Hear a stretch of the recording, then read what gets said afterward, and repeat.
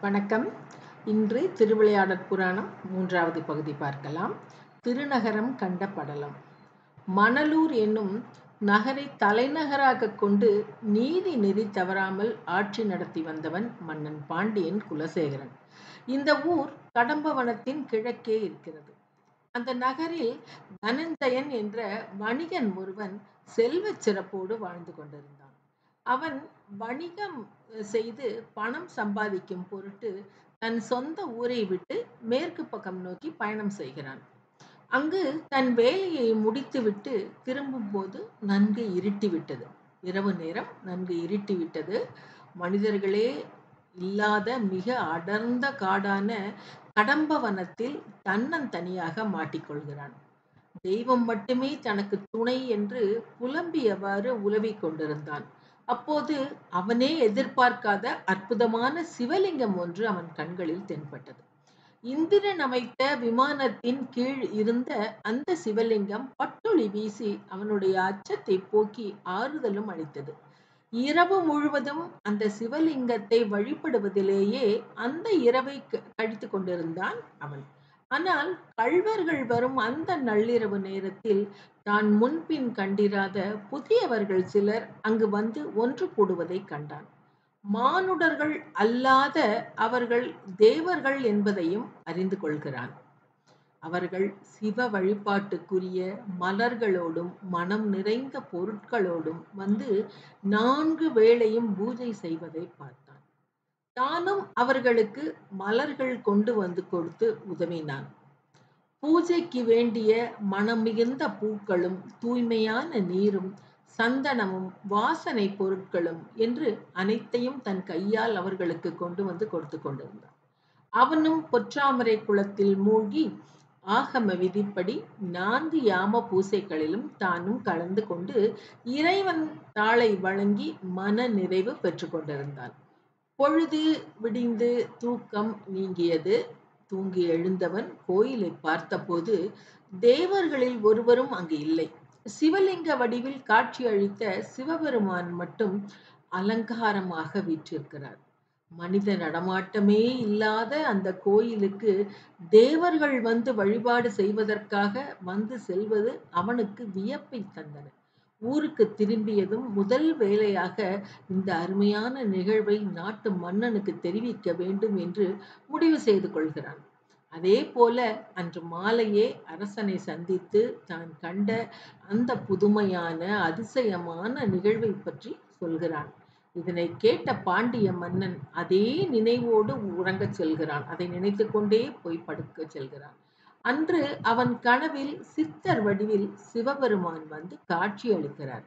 அந்த இடத்தில் தமக்கு கோயில் எழுப்ப வழியும் கூறுகிறார். கோயிலும் மண்டபங்களும் அமைத்து அழகிய நகர் ஒன்றை அக்கடம்பவனத்தில் உண்டாக்க வேண்டும் என்று ஆணையிட்டு செல்கிறார். மறுநாள் பொழுது விடிந்தவுடன் அமைச்சர்களோடும் கட்டிட சிற்பிகளோடும் தனஞ்சயன் வழிகாட்ட பாண்டியன் அவ்வனத்துக்கு செல்கிறான். அப்போதுதான் திக்கு தெரியாத அந்த காட்டில் இந்திர விமானம் கலங்கரை விளக்காக ஒளி வீசி கொண்டிருப்பதை காண்கிறான்.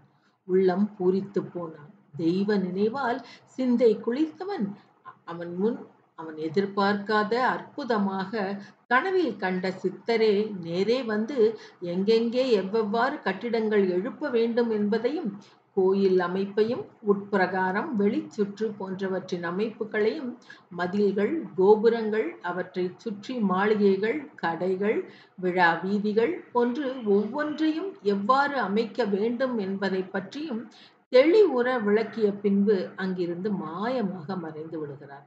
வந்தவர் சிவபெருமான் தான் என்பதை அறிந்த பாண்டியன் அளவு கடந்த மகிழ்ச்சியும் ஆனந்தமும் பேரானந்தமும் கொள்கிறான். இறைவன் பணித்தபடியே அந்நகரை இறைவனின் திருவுளம் போல் அழகாக நிர்மாணித்தான். வேதங்கள் பயிலும் பதும மண்டபம் அர்த்த மண்டபம் இசை பயிலும் நாத மண்டபம் பறை பயிலும் நிறுத்த மண்டபம் விழாக்கோள் மணி மண்டபம் வேள்வி சாலைகளும் மடைப்பள்ளிகளும் அமைய இத்திருக்கோயிலை சிறப்பாக கட்டி முடித்தான். அதனை அடுத்து வலப்பக்கம் மீனாட்சி அம்மனுக்கு திருக்கோயிலை எழுப்பி அதனையும் அவ்வாறே சிறப்பாக கட்டி முடித்தவன் சுற்றி மேகம் தவழும் வான் மதில்களையும் விண்ணையளாவும் கோபுரங்களையும் எழுப்புவித்தான் பின்னர் அக்கோவிலை சுற்றி கோபுரங்களையும் மாட மாளிகைகளையும் கட்டி வைக்கிறான். நாற்புறமும் அழகிய தெருக்களை உண்டாக்கி அங்காடிகள் அமைத்து வைக்கிறான். அவற்றையும் கடந்து அகன்ற தெருக்களையும் வீடுகளையும் கட்டி தந்த வகையில் திட்டமிட்ட நகராக அதை நிர்மாணித்து விடுகிறான்.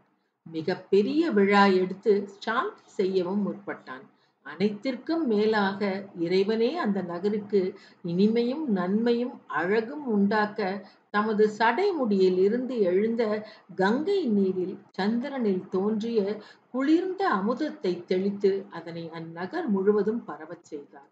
மதுரம் பெருகி அந்த நகருக்கு மதுரை எனும் புது பெயரும் மருவியது புனரமைப்பு பெற்ற அக்கோயிலின் பெருமை எட்டு திக்கும் பரவியது. பெருமளவில் மக்கள் வந்து வழிபட்டு பயன்பெற்றார்கள் பாண்டியனும் அக்கோயிலுக்கு தவறாமல் சென்று வழிபட்டு இறையருள் பெற்றான். மலையத்துவச்சன் என்னும் பெயருடைய மகனை பெற்று அவனை ஆட்சிக்கு உரியவனாக ஆக்கி எந்தவித குறைவும் இல்லாமல் ஆண்டு வந்தான். மூப்படையும் வரை பல ஆண்டு வாழ்ந்து இறைவன் திருவடி நிழலை அடைந்தான். இறந்த பின் சொர்க்க நிலையையும் அடைகிறான். மதுரை நகரின் வளர்ச்சிக்கு இவன் கால்கோள் செய்தும் மக்கள் அனைவரும் வியக்கும் வண்ணம் கோயில் பணிகள் செய்தும் வான் புகழை எய்தியவன் ஒரு நாள் இறையடி நிழலில் மறைந்தான் என்பது இந்த படலத்தின் நிறைவு. இன்றும் மதுரை மாநகரை நாம் எல்லாம் நம் கண்ணால் கண்டு கொண்டிருக்கிறோம். மதுரை மாநகரின் மீனாட்சி அம்மன் சொக்கேசர் கோவில் இன்றும் மிகச் சிறப்பாக இருப்பதை நம்மால் காண முடிகிறது. கோவிலை சென்று தரிசித்து பயன்பெறுவோம் நன்றி வணக்கம். மீண்டும் அடுத்த நான்காவது படலத்தில் திருவிளையாடற் புராணத்தை சந்திப்போம். நன்றி வணக்கம்.